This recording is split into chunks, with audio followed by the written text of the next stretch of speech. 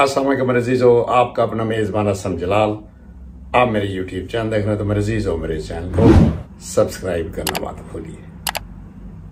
हमारे आइंदा आने वाले वज़ीर अजम पाकिस्तान जो कि दुनिया का करप्ट तरीन इंसान है। जनाब मौलाना नवाज़ शरीफ साहब फरमाते हैं कि मुझे पाकिस्तान की मिट्टी से बड़ा इश्क है। हँसी भी आती है और रोना भी मेरे अज़ीज़ हो ये जानते हुए कि ये पाकिस्तान का सबसे बड़ा दुश्मन है। न जाने कौन गधा इसको ये लेकर देता है।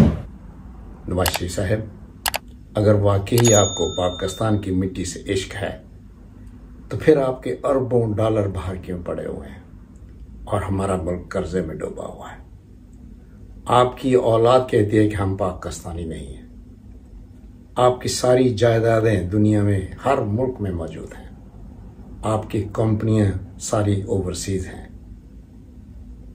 और फिर आप कहते हैं कि मुझे पाकिस्तान की मिट्टी से इश्क है।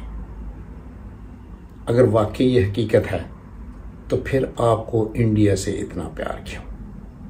हमारी पाकिस्तान पर इतने जुल्म क्यों ढाए हमारी मीशत को क्यों तबाह किया? इमरान खान जो कि मुहब वतन शख्स है उसकी हुकूमत को अमेरिका के साथ मिलकर क्यों गिरवाया और मुल्क का खाना खराब किया। अगर आपको रत्ती भर भी शर्म है तो अपने गिरबान में ज़रूर झाँक कर देखिए कि वाकई आपको पाकिस्तान की मिट्टी से इश्क मत झूठ बोलो।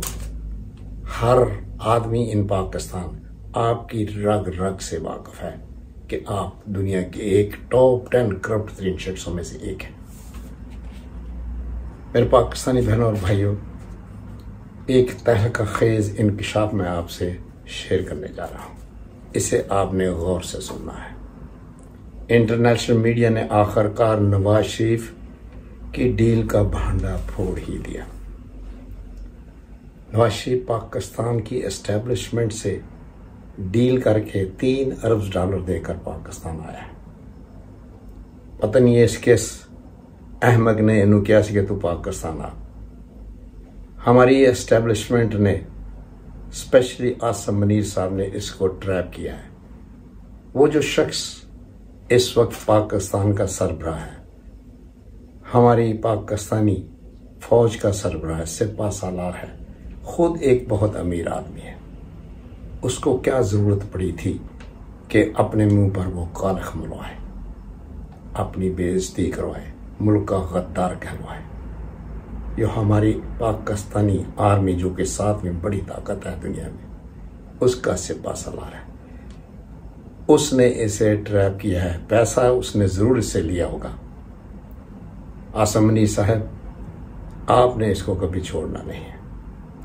आपने इससे गिन गिन कर बदले लेने हैं। जितनी नफरत हमारी पाक फौज और आवाम के दरमियान पैदा हुई है उसका जिम्मेदार यही मुल्कदार नवाज़ शरीफ है।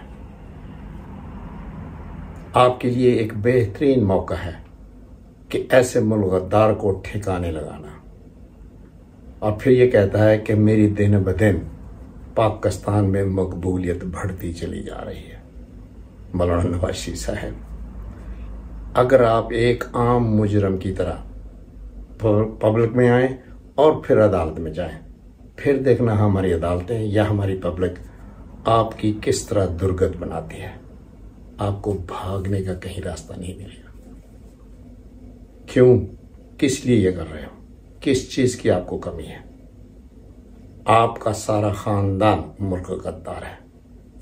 और फिर आपके जो छोटे भाई ने पिछले सोलह महीने में हमारी पाकिस्तान की मीशत का बेड़ा गर्क किया है, वो भी आपके सामने झूठ बोलना कौम से बंद कर दो ਤੁਹਾਡਾ ਹਾਲ ਉਹ ਹੋਣਾ ਜਾਂ ਪਿੰਡ 'ਚ ਖੁਰਕ ਪਏ ਕੁੱਤੇ ਦਾ ਨਹੀਂ ਹੁੰਦੇ ਇਹ ਤੁਹਾਨੂੰ ਜਿਸ ਤਰ੍ਹਾਂ पाकिस्तान असद मनीर साहब लेके आए ने ना तुम्हारा वो हाल करेगा और सारी दुनिया के लिए आपको इबरत का निशान बना दिया जाएगा कि कोई शख्स जो अपने मुल्क का हुक्मरान बनकर उससे गद्दारी करता है उससे लूटता है और कौम पर जुल्म ढाता है उसको कभी माफ़ नहीं किया जाना चाहिए।